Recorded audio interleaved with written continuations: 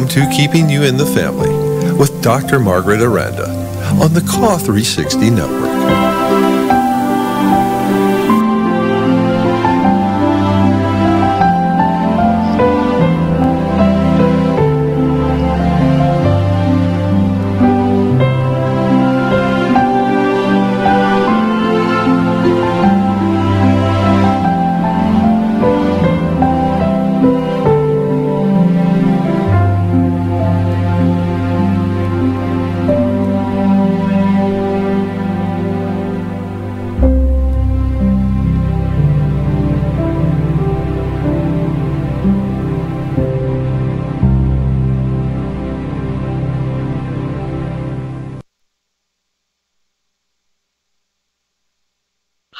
Good evening, and welcome to Keeping You in the Family.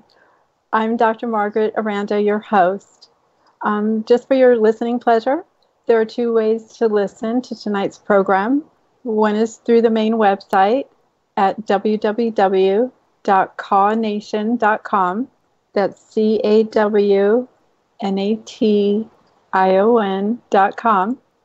Or you can find us also on YouTube in the channel Keeping You in the Family. And it would be great if you could please like and subscribe to our YouTube our YouTube channel and all of CAW 360's uh, networks across uh, YouTube also for your daily dose of truth. Also, if you have a question for me tonight or a comment, please definitely feel free to call us in the studio. We're at area code 415 403 2715. In tonight's show, we're going to be discussing insomnia and Pavlov. So I hope that you find it interesting and, and informative and that you can also use it for a lot of practical reasons. So when we're talking about sleep, many patients with pain say, What is sleep? I don't even remember the last time I slept for eight hours and most people in a lot of pain end up sleeping maybe every two hours at a time, every three hours, every five hours, maybe. Um, most of the time, I know they wake up in pain, and that's what wakes them up. So, we're going to be talking about all of that. But the most important thing about today's talk is the circadian rhythm. So, we can see uh, that sleep is associated with day and night cycles it revolves around the brain, uh, the pineal gland in the brain that helps regulate it, and all the little things that go into it. The circadian rhythm you see, we're surrounded by stress, depression, insomnia, uh, frustration, sleep, um, all different kinds of things anxiety, sleepwear, the mattress, the person next to you feeling lonely. All these things are, it can be very complicated, but for most people, you can see the big arrow there goes to pain. So I think you, you'll see some helpful information today, and uh, it just has to do with awakening and sleeping. So uh, here we can see that awakening occurs in the nucleus raphes and serotonin is a neurotransmitter that gets released for awakening. And then sleep involves the pineal gland in the brainstem and also the hormone melatonin. Now, melatonin is normally secreted by your brain every sunset. As soon as the light starts dimming, that's when the brain is triggered to go ahead and release the melatonin. So, that's really good to know because there's a built in system that we can tap into. We can either decrease the awakening part of the brain or we can increase the sleeping part of the brain or both. So these mechanisms will be very useful when we get to talk about Pavlov also. Uh, just like diet revolved around your lifestyle, same with insomnia. Same insomnia can be related to your life cycle cycle also. So if you travel from here to Europe, you're going to get jet lag. If your environment has a lot of busy noise in the background, or your mattress is really bad, that's going to keep waking you up too. Um, if you have exams, if you're moving, you have a new job, going through a divorce, or have a death in the family, all these things will keep your mind occupied. Uh, so part of the the triggering that we're going to be using to trigger your brain to get used to going to sleep has to do with thinking patterns, also has to do with habits around bedtime. Uh, of course, smoking cigarettes will wake you up. So will caffeine, uh, coffee, soda before bed, alcohol. Alcohol is pretty notorious because it's a it's definitely a depressant. But what happens when you go to sleep on a glass or two of wine is that your liver will metabolize it, and it takes about four hours to cause your bloodstream levels of alcohol to go down to zero when that happens, that's why you pop wide awake after drinking. So a lot of people can just stop drinking at bedtime and then you'll start sleeping overnight. So medications can also keep you awake. Um, and a lot of medications need to be taken a little bit earlier in the day so their awakening effect can wear off. A big cause of nighttime awakening is blue light. Blue light is emitted from your cell phone, your television, and it upsets the human circadian rhythm. So your cell phone is sending light impulses through your eyes to your brain. That is a window to the brain. And if you have a spinal cord injury or a traumatic brain injury, that light will stimulate your central nervous system and work against you going to sleep. So you need to put away your cell phone, get it away from your head, um, turn it off overnight, and try not to put yourself to sleep by playing games on your cell phone because it's probably going to keep you awake. And then a lot of other causes besides pain is central pain or pain that's 24 7 and intractable. A lot of patients in our country suffer with that. Stress and anxiety can cause insomnia too. We talked about the blue light. Um, and actually, in 2011, the World Health Organization, who issued a statement that, that cell phones can lead to cancer. And some people think that if you're talking on the phone on your right side of your head all the time and you end up with a brain tumor on the right side that's tied to your cell phone. So a lot of people don't put the cell phone up to their ear. They're only using the speakerphone, keeping it as far away from their head as possible. And I think it's pretty serious that the World Health Organization came up with a statement like that that they have not retracted. Um, but I think also that common sense tells us that maybe some of these radio frequencies aren't so great for our brain. And uh, having suffered a traumatic brain injury and recovered from it, I can tell you that I can feel the RF or the radio frequency coming from the bottom of the phone when people talk, and a lot of people can't feel it. And, and I know other people that feel different things like that too, or their watches don't work on them, things like that. They break watches.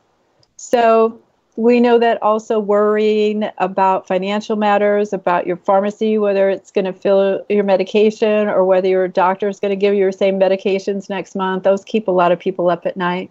And I'm very happy and relieved that the CDC and the FDA sort of did a flip flop there and uh, let doctors know that after all, we should not force taper patients off of opioids uh, because they may get intractable pain and suicide. And I think we knew that most of us. So it's it's good that people are coming around and our government is going to try to help this population of patients that got ostracized. Uh, men are pretty men over 50 are pretty um, likely to have benign prostatic hypertrophy which inflames the prostate gland and gives them a sensation that they need to urinate. They end up going frequently in very small volumes. Uh, that that can keep you up. A bad mattress can do the same thing too, or sleeping with your baby if you have a newborn. You know, kids in your bed. It can be nice and cuddly while you're awake, but then when you go to sleep, they can smack you in the face and stuff. So, so it might not be a great idea for sleeping overnight. And probably the most worrisome condition, I think, to have at bedtime is obstructive sleep apnea. So we're just going to take a moment in a moment to talk about that.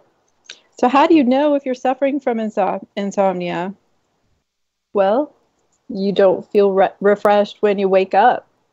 You have daytime fatigue and sleepiness. You make mistakes. You forget things. You have short term memory loss. You get in bad moods easily. Mood changes bad, good, bad, good. Um, you may have a poor attention span, unable to concentrate, you may have a lack of energy for sure, and you may get tired out by simple things. It will definitely cause some anxiety and poor socialization. So, if you're not going out and being around other people, you know, we know that that can make you tired if you're in a lot of pain and you're depressed and have anxiety, but it's probably going to help wear you out too in some good ways, assuming it's good company who's mostly positive so socializing is a really important thing to have and, and to have around you for lots of other reasons besides just insomnia. So let's just talk about obstructive sleep apnea for a moment. Uh, mostly the wives know that their husbands snore. And the big component about this is that not only do you snore, but you hold your breath. And you can actually die in your sleep or die suddenly when you have this diagnosis normally when you lay down your tongue the back of your tongue doesn't get in the way and the in the top picture you see the uh, pink or lavender uh, dots of oxygen that go past the airway into the lungs. Oh i'm sorry that one's that one's the obstructed one. The bottom one is a normal airway. You see the same color bluey blue and these ones are dark colored past the base of the tongue because it's not getting oxygen to the lungs. A lot of these people will uh, retain CO2 and have more CO2 in their blood gases, in their blood tests that we can do.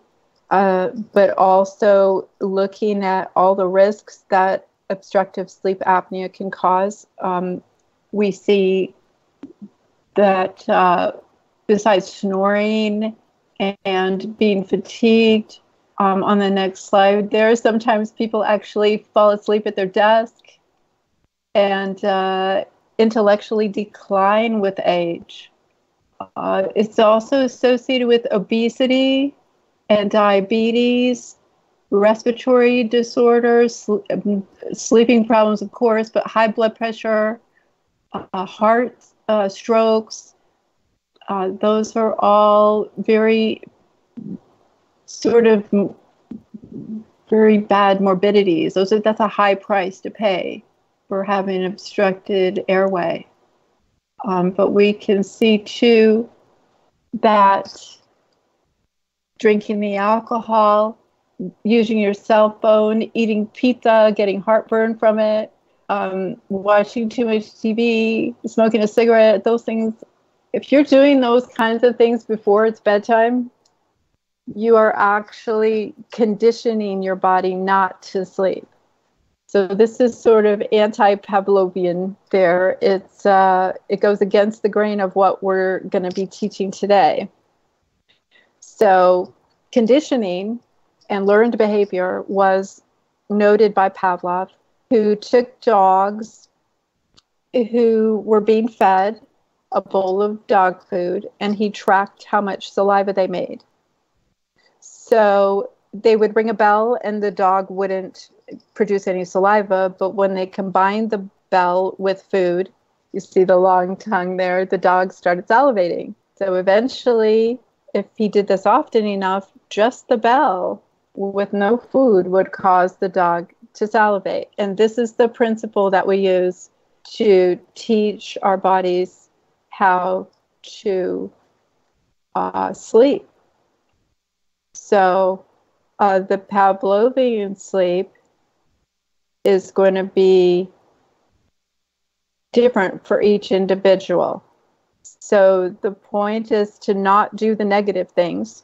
You may do well with a cup of hot green tea, with a warm bath, especially with Epsom salt in it, because those are magnesium and it works as a muscle relaxant. Uh, lavender or uh, some essential oils can definitely help. And also reading a book, sitting in a rocking chair, especially if you have arachnoiditis or a spinal cord injury, can help move your cerebral spinal fluid around. So each person is different, but you can try to identify some things that are relaxing and incorporate them into a bedtime routine so that you do A, B, C, D, E. Then you go to bed at the last minute and you fall asleep. And, and some really key principles um, have to do with uh, traditional medical management of sleep disorders. I think most of the time doctors are prescribing benzos or something else. Um, and we have a question from Levitt on YouTube who asks, What do you think about L-tryptophan for sleep and anxiety? And that can definitely help. And, and you know, different people have different effects of different medications and supplements a lot of people do really well with melatonin and magnesium. And I am beginning to prefer the liposomal delivery system because it doesn't digest through your stomach. So they're little liposomes, so they're like uh, water based in the inside, and their polarity is such that the lipid layer is on the outside. And so it can go through the gut really easily, and it's not damaged by gut enzymes uh, and, and acids. So melatonin as small as three to five milligrams. It's not exactly at bedtime, right? It's at sunset. And you can increase it to up to 25 milligrams a night. It's very rare that I find somebody that needs that much. Um, but you give it together with magnesium. And traditionally, what happens is that the melatonin will put you to sleep and then it will wear off. But right at the time that it's starting to wear off, is where the magnesium is going to kick in to keep you asleep. So that's why I personally like to take these both together. Now, when you're talking about a pharmaceutical grade versus a supplement, it's very interesting. You wouldn't think it would be this way, but if you're in Australia or Europe, you need a prescription for melatonin. It's not even available over the counter. In America, we have a lot of supplements available over the counter, but you have to be very careful about them because the FDA is always busting companies, even recently, for selling things like melatonin with no melatonin in it. So be careful. Not every supplement has what it says it has in it. Um, I personally don't use benzodiazepines. I don't like prescribing them, especially together with opioids mostly because I don't think they help overall well being as much as other things do. And also because your insurance company will send me letter after letter after letter telling me how much I'm killing you by doing that. And it's a really bad feeling to have as a doctor. So, um, most of the people with a spinal cord injury actually get muscle spasm and I like to treat the muscle spasm from the source, which is the spinal cord. If we can relax the spinal cord and get it from uh, not triggering so many impulses, our patients stop spasming because we're curing it where the problem is. So I like to put a lot of thought into why somebody's not sleeping. And I'm really happy to report that melatonin magnesium is a fantastic combination that has been working time after time um, the other thing, um, okay, so we have Crystal from YouTube asks if benzos help for years and can't anymore, are there other medication substitutes? Absolutely. So, depending on why you were put on it, and if we're talking about muscle spasm in particular, I like tizanidine. It uh, is for spinal cord injury and multiple sclerosis. I only give it if I see myoclonus or muscle jerking on the physical exam. The most common side effects are probably dry mouth and sedation or sleepiness. So, what we do with a lot of our patients, they take one pill at bedtime. It lasts eight hours. They sleep five or six hours, they're happy. And the spouse is happy because they're not shaking the bed with spasms in the middle of the night, literally, or their foot isn't getting stuck in one position like a big, huge char- Charlie horse. Um, otherwise, uh, non benzos that are good for sleep are Ambien or Zolpidem five milligrams works for a lot of people. Uh, or Sonata is another one. Five milligrams works for a lot of people. Uh, Halcion is another one that is non non benzo as well. A lot a lot of people like those. They're used in the hospitals a lot. So I like to go with the supplements, the natural things first, and then switch out and, and do more heavy hitters, so to speak.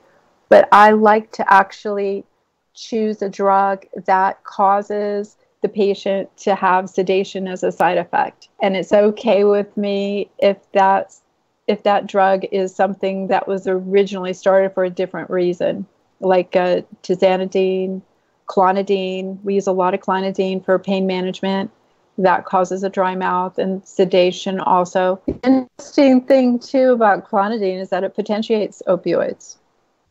So part of the reason why people get more sedated on clonidine is because it's making their opioids stronger.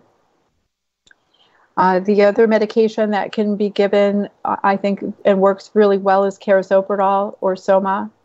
Uh, it's interesting that insurance companies won't reimburse for 250 milligram doses, but they'll they'll be perfectly happy to give you 350 milligrams. So normally we start at a low dose and go to a higher dose, but because hardly anybody prescribes the 250s, it's a, a lot more expensive. So I just skip right over them and go straight to the 350s these days for insurance to cover it. And it seems like they're pretty happy to do that. Um, if you take these things at the at the right time and do a lot of other things uh, together with taking medications, uh, by having a bedtime routine, then I think that those patients that do the same things over and over and over again at night are the ones that are really able to establish a sleep pattern that they never had before and to keep it. Um, and I think that once people start sleeping five to eight hours a night, you just see them come into the office and they're like bright eyed, their depression gets lifted, their anxiety tends to be super relaxed. They're just not stuttering, they speak faster, they're they have more clarity of thought, they don't stutter as much, they don't look as gray or sad. A lot of people were like hunched over on benzos plus opioids in my experience. And uh, if that muscle relaxant, uh, if the benzos were started for muscle relaxation and we can stop the spinal cord from overstimulating the muscles in the first place, then I think we do a really big service for our patients who, who need help in the spinal cord. Um, other drugs that may relax the spinal cord, if you have a, a an injury or uh, pre- compression on a, on a nerve would be baclofen. And usually that one doesn't have uh, sedation or dry mouth as a side effect. Uh, it's re- really well tolerated. And for a lot of these medications, including baclofen, we start like at a really low dose of five milligrams and just take one tablet Monday, Wednesday, Friday for the first week. And most people don't see a side effect at all. Then the second week, we take it every day, just once a day. And then, then the third and fourth weeks, you go uh, twice a day and then three times a day. So you take a full month to go up on a three times a day pattern. And then during the second and third months, we go from five to 10 to 20 milligrams three times a day if, ne- if needed. And the patients are able to sleep really well with that too. And no side effects usually. So if uh, tizanidine doesn't work, baclofen doesn't work, there's others like Lyrica, and we can. Uh, I've I've not had to go there yet or very often. It's a rarity. So melatonin, magnesium, a sleep routine that's Pavlovian, and uh, keeping things away and out of your body that work against you seem to be the most effective things for most people. And uh, that is also something that we see is that the spouses, when they notice that their spouse is not up all night, that the spouses get better sleep too. And so that's that's a win for a lot of people. Um, the other thing is that uh, melatonin has a lot of benefits besides just sleep. There are melatonin receptors in your eyes, in your bone marrow, in your gut. And besides being something that causes sleep and helps the circadian rhythm, it's also a powerful antioxidant. So it's been used to treat um, eye health, especially age related macular degeneration, uh, to treat stomach ulcers, uh, to even treat uh, ringing in the ears or tinnitus. And if you're a man and you take melatonin, it will actually increase your human growth hormone release at bedtime. If you eat a heavily sugared diet or a, a high carb dinner, those that that high sugar content will decrease uh, melatonin and decrease human growth hormone too. So, the other thing that it may help with is maintaining a normal body temperature. Some people seem to have like a revved up temperature, like a basal temperature rate that's like a low fever almost all the time, especially with lupus.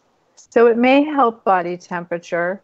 Um, and it could also help. Uh, uh, the other thing I was going to say, the other things that disturb your melatonin levels include stress, of course, cigarettes.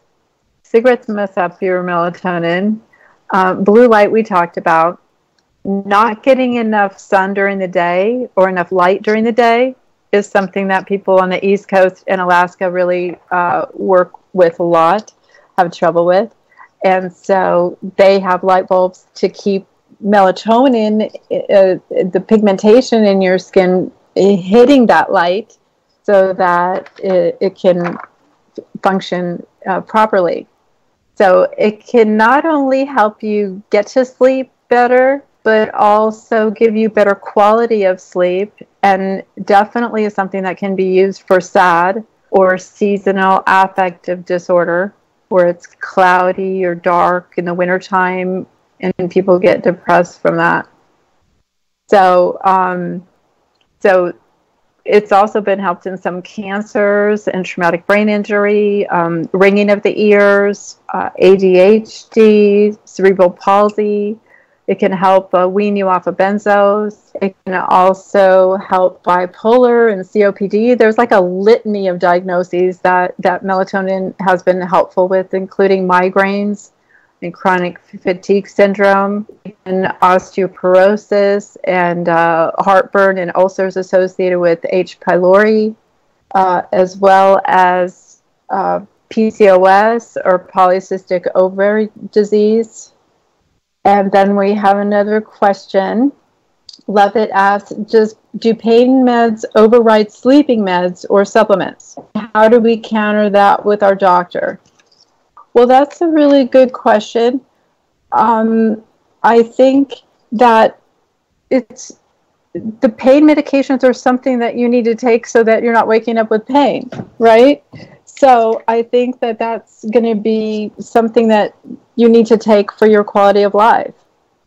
Um, so pain meds don't really override sleeping meds because they're not meant to put you to sleep and you shouldn't be taking them. Of course to, to go to sleep those are to help you when you're awake or to like it help make your night a little bit better when you're having a hard time sleeping because of your pain.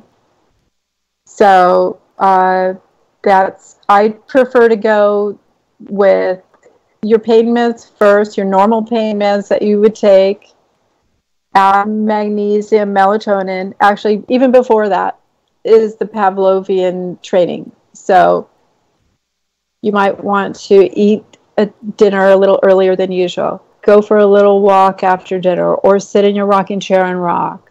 Get away from the TV and your cell phone. Read a book. Have a cup of hot tea, hot green tea. Um, you also may want to um, just tone things down and keep keep your life more simple because that could definitely have a big effect. And you can look through your house look through your products look through the things that you have and say gosh do i really need all this stuff? So what we're trying to do here is we're going to try to keep things simple keep the things that are worth holding on to and like look at the some of the things that other people have told us that we we have to have or that we need to have to be american or to feel complete. Uh, we probably don't need a lot of the things that we have. So i definitely think it's an opportunity to simplify your life keep grounded and that's another thing. When you walk out to the garden barefooted or with some socks on you actually uh, ground yourself and you get rid of the extra electricity and nerve impulses that have accumulated in your in your spinal cord and any static electricity that you're uh, collecting as well, especially in the the winter time when you've got the heater on a lot. So uh, it it makes a big difference to get the cell phone away from your head at night. And then my next choice after the Pavlovian rituals that help you get ready for sleep is to do something to make the bed and the bedroom only for sleep and sex, pretty much. So you shouldn't have a TV in your bedroom. You shouldn't have a workstation in there. Of course, unless you don't have room and that's the only place you can put it. So within reason. Um, you don't want to be doing much of anything except for sleeping in bed you want to wait till almost the last minute when you're in bed, which means if you're sick and you're bedridden, then of course you're going to spend a lot of time in bed. But whenever you can get out and sit in an armchair, sit in a, a rocking chair, sit on the couch, walk to the next room, that's going to help you in a lot of different ways. So um, there's there's a, a lot of theory that the that we're in bed too much and that when you wake up in the morning that's another part of sleeping at night is awakening. So when you wake up you want to get out of bed and get dressed and or you know put your robe on get out of bed go to the next room. You don't want to wake up and spend two hours in bed. So that's like for average people i know a lot of bedridden people who are super sick are in bed 99% of the time. But you want to maybe try to get out of bed sometimes and lay on the couch instead. Go with the rest of the family. Go sit outside. The weather's getting nicer now.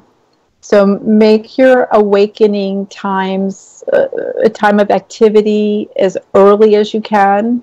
Because even if you don't work, I think it really helps to wake up in the morning, wash your face, brush your teeth, have a little something, you know, to eat and and maybe develop a ritual where you keep a diary or you call a friend. Just do something that keeps you a little bit active and integrated with uh, with your family and with the people around you. And uh, I want to just check and see if there's any uh, other questions? No, not yet. So that's good. Um, and uh, I think that if we can train ourselves to go ahead and have a routine, that's going to be a big thing. Um, uh, one quick second, I want to go back to uh, the slide that has the bottle of wine on it, or the glass of wine with the TV. Um, let's see, that's conditioning not to sleep. This is one I think that bears repeating because we don't even realize some of the things that we do that that sort of sabotage ourselves into not uh, sleeping well. So, whether it's that glass of wine that you need to get rid of, the TV is a big one to get rid of, smoking cigarettes. I mean, a lot of people think that smoking relaxes them, but it doesn't. It, it's going to make your blood pressure and your heart rate both go up and act exactly like caffeine. It's going to activate your central nervous system. Um, so that's something that I think is pretty relatively easy to do. If you avoid heavy foods like pizza, uh, don't eat something with a whole lot of fat in it because then you'll get heartburn when you lay down. And that's going to work against you too. And then I think probably for people under 50, it's probably the hardest thing to stop uh, doing this, the television or the cell phone uh, at nighttime because a lot of people think it's really relaxing. Uh, there are a couple things you can do though. You can get some special sunglasses that block the blue light. You can buy those on Amazon for like 20 bucks. And at least then you won't be activating your central nervous system. Uh, the other thing I know on the iPhone, there's a a special section in this in the phone light section that in the settings that allows you to do a yellow cover on it. That's how I have mine set. So uh, that's something that else that you can do if you're really feel that the cell phone is relaxing to you. Then either wear uh, glasses that block the blue light or set your cell phone to block the the blue light because that's something that a lot of people do, um, don't realize even happens. And then Lovett asks, lots of chronic pain patients are bed, are bedridden 24/7. Suggestions for sleep for us. Absolutely. So a lot of the same things apply. Get away from the TV, get away from the cell phone, wear wear uh, blue light glasses, you know, blockers. Um, besides avoiding all of the the negative things, uh, we can see that uh, with Pavlovian sleep, getting in a rocking chair is a really good thing for some people to do. And you could even put your feet up on it and just like uh, kind of squat uh, on the rocking chair because it'll help your balance, it'll help your core strength. Um, and I know a lot of people that are bedridden cannot exercise whatsoever, but there are exercises that you can do in bed. And moving your body around and tiring out just a little bit is extremely helpful uh, for contributing to getting your body ready to sleep. Um, so you could there in my first book that I wrote, I in the back section I put a list of exercises. You could do leg lifts, you could do arm lifts, you could get tomato cans, uh, tomato sauce, and use them for little weights. Um, anything that you do besides nothing is good for your body. And these days also, there are a lot of uh, yoga exercises that can be done from bed. And a lot of them just work against gravity. It doesn't require a whole lot of balance, but it, it does allow your bone strength to increase. Uh, because that's something that bedridden people really need to worry about is their bone density. You're not like jumping up and down and using weight bearing exercises to keep your bones strong. And if you're on steroids plus bedridden, you're going to e- be even more susceptible to osteopenia and osteoporosis. And why is that? Why is that even important? Why is osteoporosis or osteopenia so important? It's because when you're older, when you're 65, if you're a man and you're 65 or older and you trip and fall and break a hip, fully one third of those men will die in a year. So the time to get your bones strong isn't when you're 65, it's when you're 35, 25. Keep them strong. So uh, the same things that work for everybody else will work for people that are bedridden. You're just going to have to modify some exercise, avoid the same things that you're supposed to avoid, and then a lot of times the a bedtime bath will help with Epsom salts, which are magnesium. Those will relax your muscles too. So everything that you can do all in a row, the same sequence every night. Keep adding something else to it if you need to. So you have maybe a routine of 10 things that you do three hours before bedtime. That's the kind of homework that it takes. And I'm sorry, it's not really easy. And Cindy asks, "What do you think of using marijuana for sleep?" Well, that's a that's a good question. There's I'll answer that in two ways because I'd like to talk about CBD. CBD does not, not have any THC in it or the tetrahydrocannabinol. It's not psychoactive. It doesn't make you high. CBD cuts inflammation. It can help a lot of people with sleep too. So the, I like that as a first choice. It won't show up as, as THC in a urine test, especially if you get a product that is pure, which we have to be careful of these days because a lot of supplement companies are under scrutiny for not putting supplements in their supplements.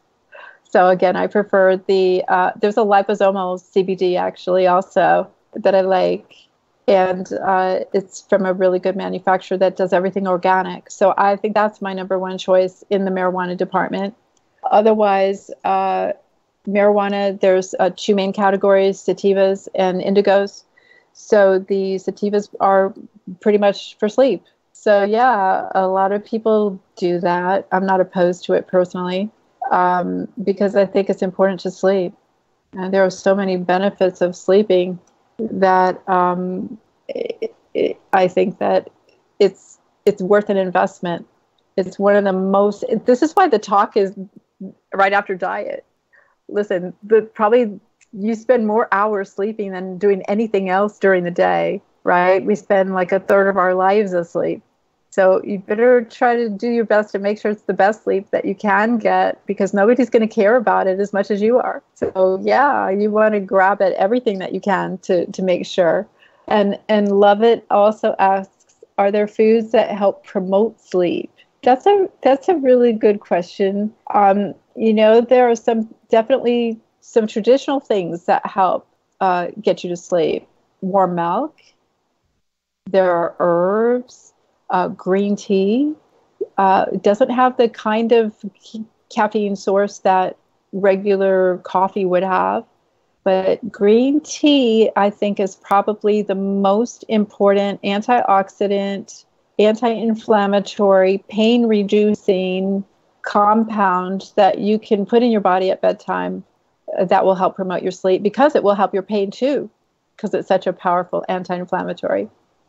And especially if you suffer from a spinal cord injury, a herniated disc, anything that's pressing on a, a nerve or a nerve root, uh, the great thing about green tea is that the compound in it actually crosses the blood brain barrier and can go into the brain and spinal cord areas of cerebral spinal fluid surrounding it. So uh, I love promoting green tea. About two years ago, they used to recommend uh, two to three cups a day. Now they're recommending five or six cups a day.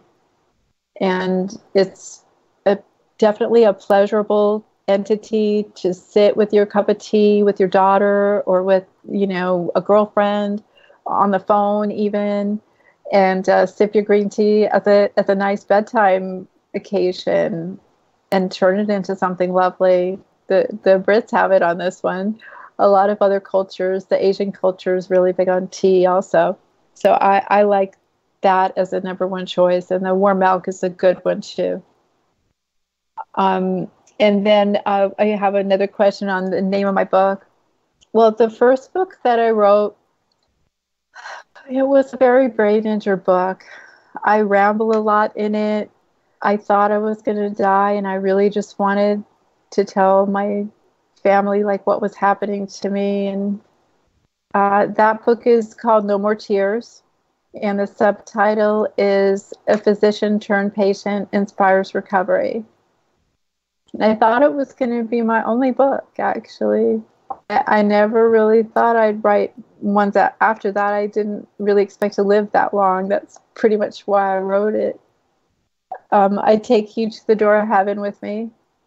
I had a near death experience that was pretty pretty real. Um, I think may have time to tell the story. I'll, I'll tell this one really quickly. Um, but uh, first, I'll say the names of my other books. So, I, the No More Tears book, and then I wrote Stepping from the Edge to give you some biblical principles that I used as a Christian for helping me have faith and getting better. Uh, I wrote two books uh, revolving around my daughter. Little Missy Two Shoes likes a ladybug, and Little Missy Two Shoes goes to school. And I intended to write like 12 pack. Like she goes to the dentist, she goes to the doctor, she does all these life change things that kids have trouble with. So I'm still working on that one. And then I wrote Archives of the Vagina, A Journey Through Time on women's health because I thought I was going to die and my daughter wouldn't, she would have been raised without me, you know. So it starts with a, a girl's first period and goes all the way through hospice care and death and dying. And so uh, it's pretty comprehensive. And then my last book is uh, The Rebel Patient. It basically teaches you as a patient how to fight for your life, how to get your diagnoses, and uh, how to talk to doctors, how to answer their questions, how to be more of a professional patient. And I really, I really want all of my patients to read it. And I could tell who's read it and who hasn't read it. Like, you need to go read my book. You need to answer yes or no if I ask you a yes or no question. So uh, I'll tell you about my uh, near death experience. Um, I was at a particular hospital I had gone to about 20 times before, and every time they saw me, they just rolled their eyes and didn't know what to do with me.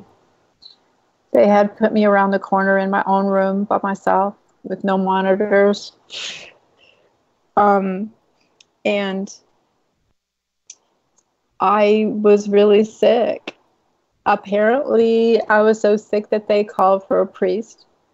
So I remember the priest coming to my bed with his black suit and his white collar, and he had a little glass jar that looked like it had olive oil in it.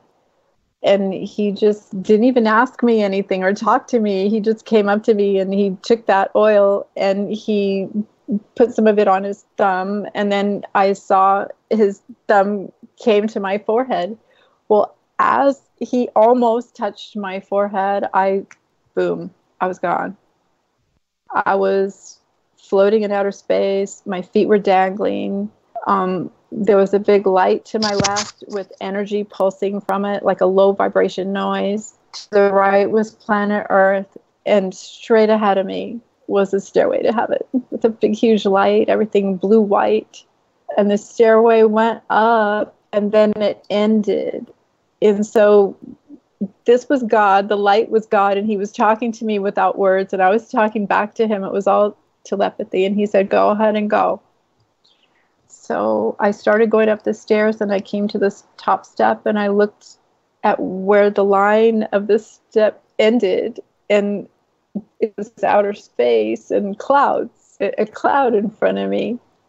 And so I remember turning back and say, Well, what happens if I go? And he said, You won't be able to come back. And it really bothered me because I wasn't ready to go. I wanted to come back and raise my daughter. I wanted to be with my family. And I just felt like I wasn't done with my job. So I begged, I begged God and I I felt really bad. Like I felt like I wanted to sit under the chair. Like I felt like I was like an inch tall. But I wanted to speak up for myself because it was such a big decision to make to go through that or to not go through it. So I said, Well, I'm not ready. Is there any kind of way that you can take everything that I ever did, all the good things I did, all the extra time I spent with people, all the helping hands I gave, can you just make them all add up? Can you add them all up together and just make it good enough for me to go back? And the next thing I knew, this thumb coming off of my forehead. And it was the same priest that was standing right there, and that whole thing happened in like two seconds. So that did a lot for me because when that happened to me, I realized that God set me back, and the rest of my life was something that He gave me as a gift. And then I just kind of figured out that he, I can't die now because He just gave me back my life. So I must be able to watch my daughter grow up, and whatever age I am, and whatever age she is when I go, she'll be old enough to take it, and she'll be she'll have known what her mama did after being in bed for 12 years and being too sick to stand up and take a shower that I went back into medicine and had a practice and miracles still happen. And I can't even imagine what she's learned from that and what more she has to learn ahead. So, my last book is The Rebel Patient, and my next two books are going to be The Chronic Life Diet and Trust Me Enough. Trust Me Enough is going to have all my recipes for spinal cord injury treatment. But the biggest recipe is trust and hope. So if I can get you to trust me enough to take the medications that I want you to take and to try these things that you may or may not agree with, and if your body responds to them, you're going to get better. And for most pain patients that I know, if your pain is a nine or a 10 and we could get it down to a seven or eight, that's progress. And it's, it's not unusual to have uh, patients that come in with a, a pain of nine or 10 and have it go down to two to three. So we want the best for everybody, and we keep finding the right combinations, and we keep trying. And a lot of people are getting better with anti inflammatories, with sex hormone replacement, uh, supplements, good sleep, good relationships.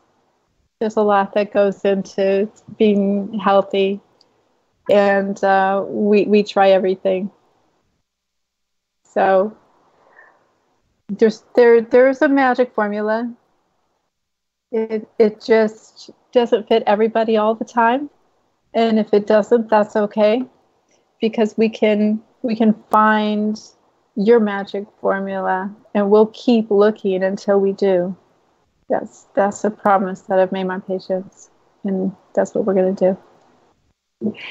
So um, don't forget, Sunday at 6 p.m. Eastern Standard Time, we have the uh, Don't Punish Pain Rally talk show with Claudia Merandi. She'll be on with guest Angel Smithers. She's the wife of Dr. Joel Smithers, who recently got 20 years and is incarcerated now for prescribing pain medication for patients. So I want to thank you very, very much Oh, and Cindy asks one more question I think we have time for. Did you feel incredible love during your NDE, my near death experience? You know? I'll tell you what I felt. It wasn't incredible love, even though that was there. What what hit me the most, and I describe it in my books for you, is the no more tears. Just imagine knowing that you're never going to cry again. You're never going to be sad. You're never going to have pain. You're never going to be lonely. You're not going to have all these negative, you know, suppressing emotions. It's gone. So, yeah, I felt incredible love, but it was also tempered. The big thing that I felt was peace and I felt so much peace that I wanted to tell everybody, don't cry at my funeral because I'm not going to be crying for you. I'm not going to be crying for anybody. I'm, I'm not going to be crying for anything. Just be happy for me because I'll be happy. And I really don't want anybody to cry for me. So I want to thank you for joining us this evening here at Keeping You in the Family on CAW 360 Network for your daily dose of truth. I'm Dr. Margaret Aranda signing off for the evening and see you next Wednesday, 5 p.m. Pacific Standard Time and 8 p.m. Eastern Standard Time. Thank you so very much, and God bless you.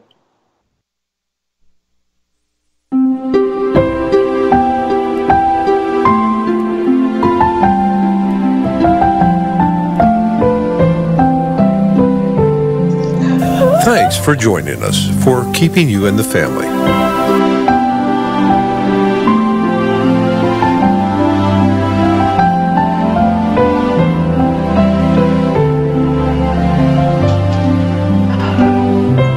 I just finished.